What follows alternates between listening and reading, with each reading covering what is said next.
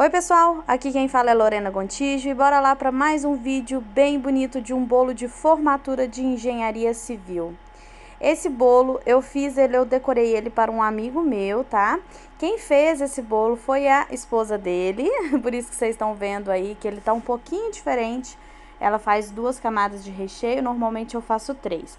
Ela usa minha massa, então vou deixar aqui embaixo o link para vocês verem a minha massa, tá? Como que eu faço ela direitinho. Esse bolo, essa parte de baixo, é um bolo de 25 centímetros por, por 9,5 de altura. Por que 9,5 de altura? Eu já expliquei aqui para vocês, já fiz várias montagens mostrando para vocês quando a gente coloca o bolo de 10 de altura, que ele é de andar, o que que acontece? Quando coloca mais um, um pouquinho mais embaixo, o efeito que dá também tá? E no caso aí eu queria um efeito reto, então eu coloco 9,5 de altura, para a hora que eu colocar o meu chantininho aí, o meu chantininho ficar certinho com 10 de altura, o meu bolo ficar certinho com 10 de altura, tá? Coloquei o meu banquinho, eu tô usando um canudo é, para colocar aí o meu segundo bolo e ele ter estrutura suficiente, tá? Não coloquei aquele no, no, no papelzinho, na estrutura, como normalmente eu faço, porque eu tive que improvisar. Mas deu super certo, tá, gente? Então, eu tô mostrando aí porque deu realmente super certo. Então, eu já fiz aí a estrutura, usei o meu banquinho, coloquei um canudo no meio e coloquei o meu segundo bolo. Estou passando aí chantininho. Esse chantininho foi feito com o chantilly prêmio, aquele supreme, tá? Da Amélia. Ele dá um brilho super bacana, eu acho que fica muito bonito esse chantilly. Eu usei aí azul anis e coloquei uma, um pouquinho de azul marinho, tá? Mas só um pouquinho mesmo, que senão ia escurecer, fechar muito essa cor. Eu tirei aí o meu banquinho. Como você... Antes de eu começar aí, gente, eu medi direitinho o centro do meu bolo com a minha régua, tá? É, para colocar esse banquinho bem no centro mesmo. Eu tirei para ficar mais fácil para me fazer as minhas quinas. Como vocês sabem, eu amo fazer quinas, né? Então aí eu fui alisando e deixando as minhas quinas bem certinhas. Eu tô esquentando aí a minha régua na própria chama do fogão, tá, gente? Você pode colocar com a água. Eu confesso que com a água morna, eu acho que fica um brilho mais bonito no meu chantilly, tá? No meu bolo. Só que o que, que acontece? Esse bolo a gente ia fazer uma pintura. Então, é, querendo ou não, ia tampar um pouco desse brilho e eu não ia precisar ter tão nitidamente esse brilho, tá bom? Por isso que eu não esquentei a água aí. Depois de deixar a minha parte de baixo bem lisinha, eu acho que esse chantilly poderia ter ficado um pouquinho mais mole, mais fluido, tá? Para ficar mais fácil de alisar. Mas eu consegui deixar o efeito bem lisinho e eu tô mostrando aí para vocês, tá? Coloquei o meu segundo bolo, tá? Como já tinha as marcações, eu só fiz mesmo encaixar. Eu achei dessa forma que eu fiz bem mais prático do que das outras formas que eu faço, tá? Normalmente eu faço. Porém, esse bolo não ia ser transportado. Acho que para transporte você precisa sim colocar glucosa para firmar. Tem bolo de dois andares, vários bolos de dois andares aqui no canal, tá? Você pode dar uma olhadinha e ver como que eu faço a estrutura certinho. Esse bolo não foi transportado, por isso que eu não fixei a, o pratinho no bolo. Mas querendo ou não, ele não girou, não aconteceu nada, ele ficou perfeito, tá bom, pessoal? Então, vamos lá. Tô alisando aí, eu, vocês sabem que eu uso a minha régua, já mostrei por várias vezes para vocês, né?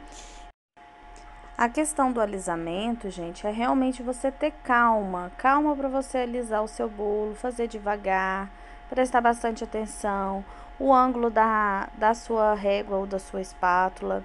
É, eu sempre tento, eu não precisava que o encontro dos dois bolos ficasse certinho, mas eu sempre tento, sabe? Eu tento me esfor eu sempre me esforço para tentar uma técnica nova, por exemplo. Aí o encontro dos dois bolos ficou bem certinho e eu não precisava, mas se algum dia eu precisar de um encontro do bolo esteja bem certinho, eu já sei como que eu vou poder fazer para ficar bem bonitinho como tá aí, entendeu? Então, depois que eu alisei aí, como vocês podem ver, eu tô esquentando a, a régua na própria chama, mas eu acho que fica mais legal esquentar a água. Peguei o meu pó prateado, esse é o pó da FAB. Eu abri esse pó para fazer, então eu gastei um potinho desse aí inteiro para fazer esse bolo, tá bom? Com o pó da Fábio, eu fiz com a solução alcoólica também da Fábio. Eu já falei pra vocês que eu acho que ela dá um brilho diferente, por isso que eu gosto de usar ela. E eu comecei a minha saga com o aerógrafo, gente. Não passava esse pó da Fábio no aerógrafo.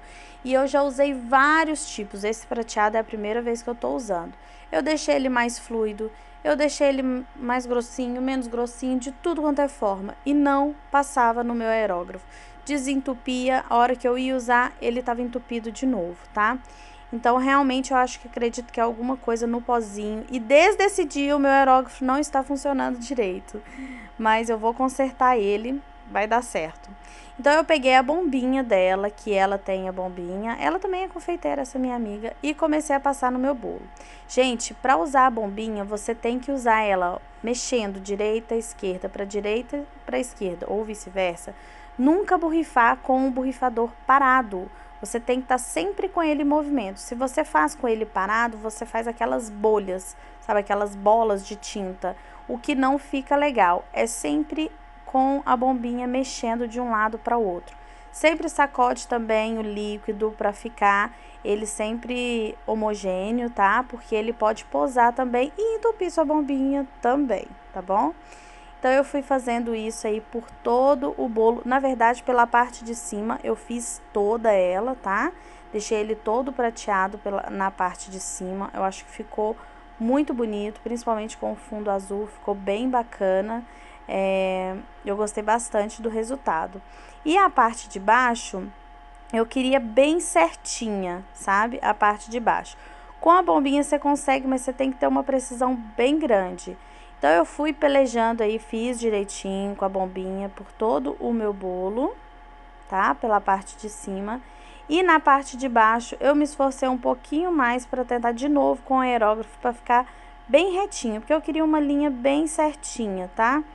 Então eu deixei o líquido bem fluido mesmo e fiz várias colorações na parte de baixo. Mas como vocês podem ver, o meu aerógrafo está entupindo. Toda hora eu tenho que ficar parando para desentupir ele, tá? Eu não sei se esse pozinho é um pouquinho mais espesso, se ele tem alguns grânulos maiorzinho, não sei o que que acontece. Mas só sei que me deu um trabalhinho aí para usar o aerógrafo, tá, gente? Aí tinha hora que ele saía que era uma beleza. Olha aí para vocês verem. Gente, eu vou chamar para vocês ir lá no Instagram. Eu sempre tô postando o meu dia a dia lá no Instagram, dia a dia de mãe, confeiteira, tá? Então corre lá no meu Instagram, nos meus stories sempre, todos os dias eu faço alguns stories mostrando sobre o meu dia a dia, tá? Agora eu tô limpando a bandeja. Eu sempre uso bandeja de vidro. Nesse caso aí era a bandeja dela. E eu senti uma dificuldade maiorzinha para limpar essa aí. É de MDF. Parece que ela agarra um pouquinho, ela mancha, sabe? Essa, essa bandeja de MDF mancha um pouquinho, tá?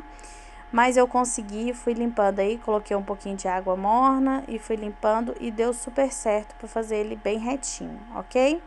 Eu peguei um bico aí, um bico perlê, aquele bico, bico mais grosso, tá? Um A. E fiz, peguei o resto do meu chantilly e fiz como se fosse uma cordinha. Na verdade, não é a cordinha. Simplesmente fiz aí rodeando o meu bolo, tá? Não sei porque não foi gravado essa parte. Eu tô colocando aí o meu topper. Primeiro eu vejo direitinho aonde que eu quero que o meu topper fica, tá? É, para depois eu encostar ele no meu bolo, como aí não ia ter transporte, eu já cheguei a encostar ele no bolo, tá bom?